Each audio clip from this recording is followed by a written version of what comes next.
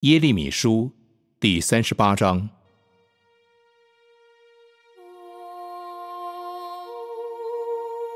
马坦的儿子是法提亚，巴施户尔的儿子基大利，示利米亚的儿子尤贾，马基亚的儿子巴士户尔，听见耶利米对众人所说的话。耶和华如此说。住在这城里的必遭刀剑、饥荒、瘟疫而死；但出去归降加勒底人的必得存活；就是以自己命为掠物的必得存活。耶和华如此说：这城必要交在巴比伦王军队的手中，他必攻取这城。于是首领对王说：“求你将这人治死，因他向城里剩下的兵丁和众民说这样的话，使他们的手发软。这人不是求这百姓得平安，乃是叫他们受灾祸。”西底家王说：“他在你们手中，无论何事。”王也不能与你们反对。他们就拿住耶利米，下在哈米勒的儿子马基亚的牢狱里。那牢狱在护卫兵的院中。他们用绳子将耶利米系下去。牢狱里没有水，只有淤泥。耶利米就陷在淤泥中。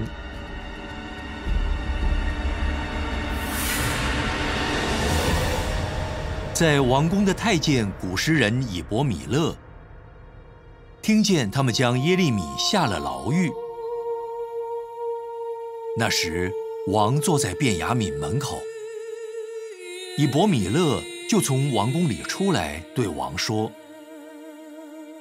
主我的王啊，这些人向先知耶利米一味的行恶，将他下在牢狱中，他在那里。”必因饥饿而死，因为城中再没有粮食。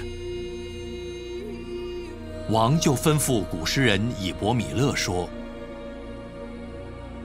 你从这里带领三十人，趁着先知耶利米未死以前，将他从牢狱中提上来。”于是，以伯米勒带领这些人同去，进入王宫，到库房以下。从那里取了些碎布和破烂的衣服，用绳子坠下牢狱，去到耶利米那里。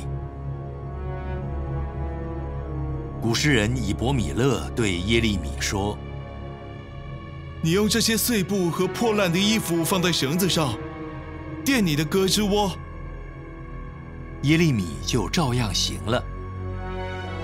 这样。他们用绳子将耶利米从牢狱里拉上来。耶利米仍在护卫兵的院中。西底家王打发人带领先知耶利米进耶和华殿中第三门里见王。王就对耶利米说：“我要问你一件事，你丝毫不可向我隐瞒。”我若告诉你，你岂不定要杀我吗？我若劝诫你，你必不听从我。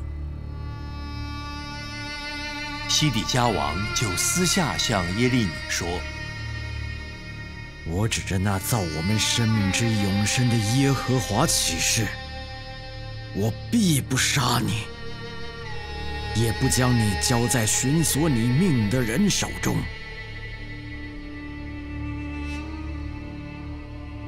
耶和华万军之神，以色列的神如此说：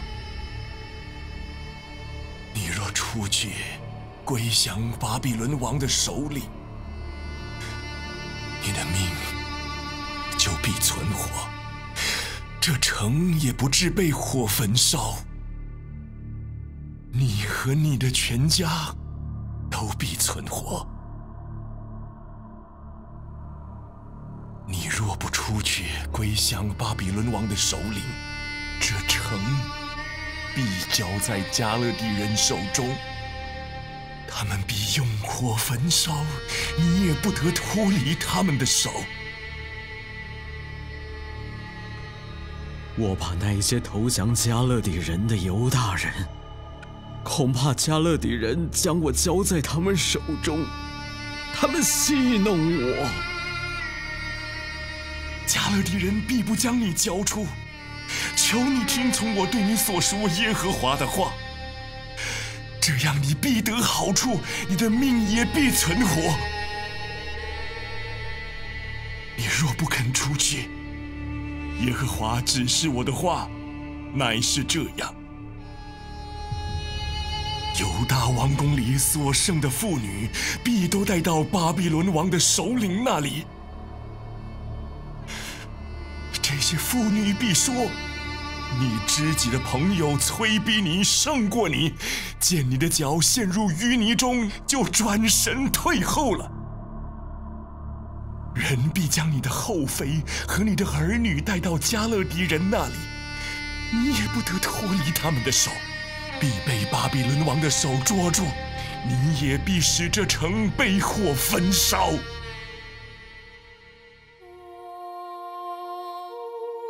不要使人知道这些话，你就不至于死。首领若听见了我与你说话，就来见你，问你说：“你对王说什么话？不要向我们隐瞒，我们就不杀你。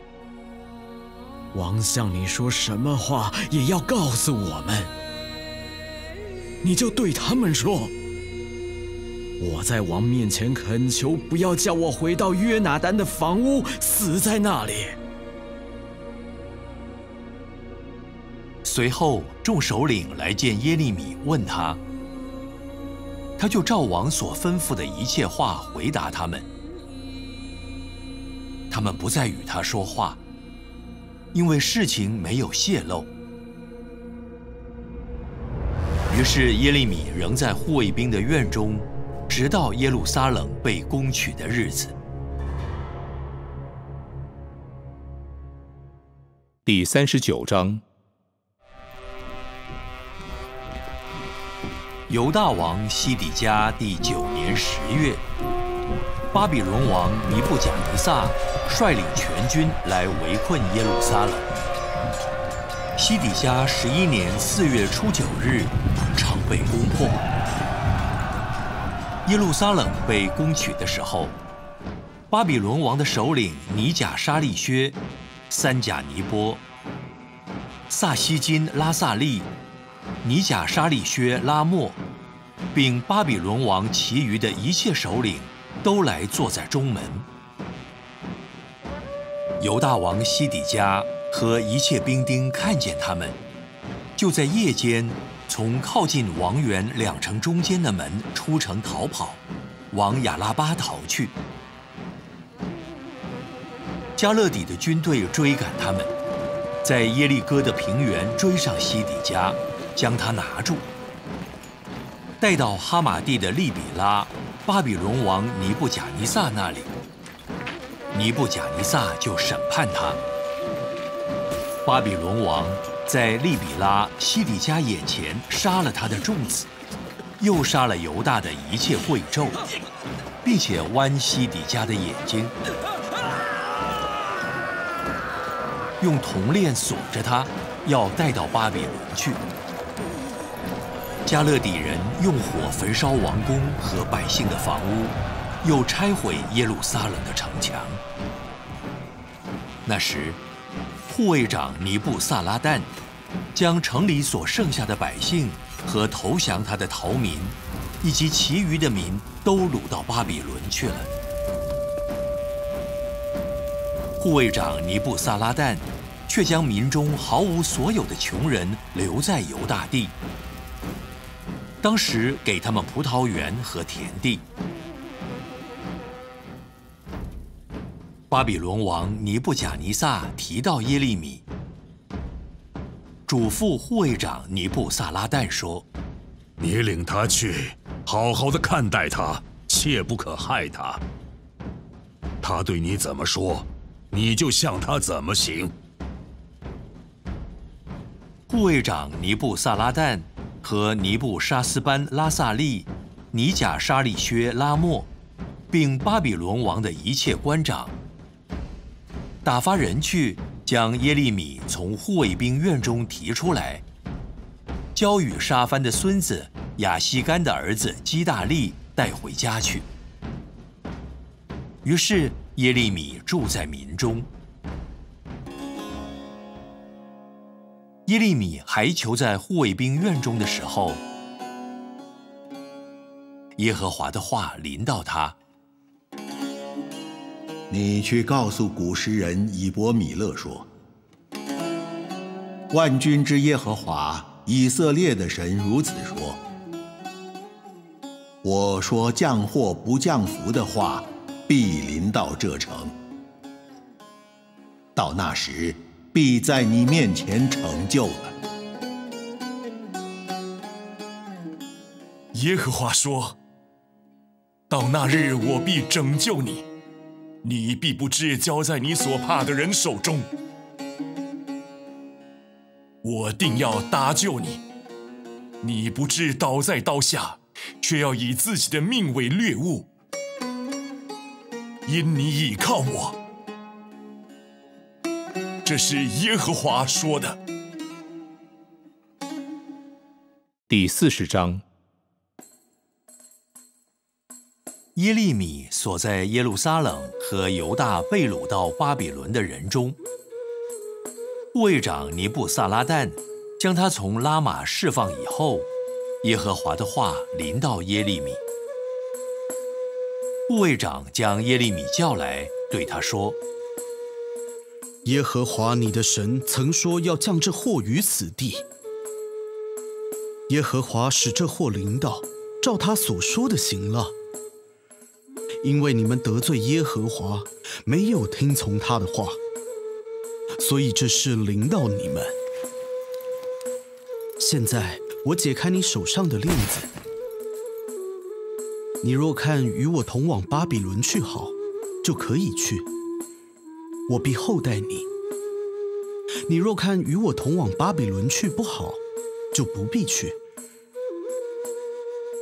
看哪，全地在你面前，你以为哪里美好，哪里合宜，只管上那里去吧。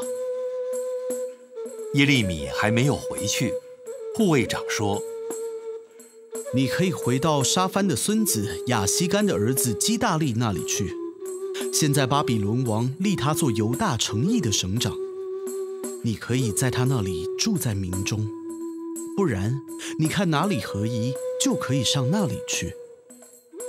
于是护卫长送他粮食和礼物，释放他去了。耶利米就到米斯巴见亚西干的儿子基大利，在他那里住在境内剩下的民中。在田野的一切军长和属他们的人，听见巴比伦王立了亚西干的儿子基大利做境内的省长，并将没有掳到巴比伦的男人、妇女、孩童和境内极穷的人全交给他。于是军长尼探雅的儿子以实玛利、加利亚的两个儿子约哈南和约拿丹。丹户灭的儿子希莱亚，并尼陀法人以斐的众子，马家人的儿子耶萨尼亚和属他们的人，都到米斯巴见基大利。沙番的孙子亚西干的儿子基大利，向他们和属他们的人起誓：不要怕服侍加勒底人，只管住在这地，服侍巴比伦王。就可以得福。至于我，我要住在米斯巴，伺候那到我们这里来的加勒底人。只是你们当积蓄酒、油和夏天的果子，收在器皿里。住在你们所占的城邑中。在摩崖地和亚门人中，在以东地和各国的一切犹大人，听见巴比伦王留下些犹大人，并立沙番的孙子亚西干的儿子基大利管理他们。这一切犹大人就从所赶到的各处回来，到犹大地米斯巴的基大利那里，又积蓄了许多的酒，并夏天的果子。加利亚的儿子约哈南和在田野的一切军长来到米斯巴见基大利，对他说：“亚门人的王巴利斯打发尼探雅的儿子以实玛利来要你的命，你知道吗？”亚西干的儿子基大利却不信他们的话。加利亚的儿子约哈南在米斯巴私下对基大利说。求你容我去杀尼探雅的儿子以实玛利，必无人知道。何必让他要你的命？使聚集到你这里来的犹大人都分散，以致犹大剩下的人都灭亡呢？亚西干的儿子基大利对加利亚的儿子约哈南说：“你不可行这事，你所论以实玛利的话是假的。”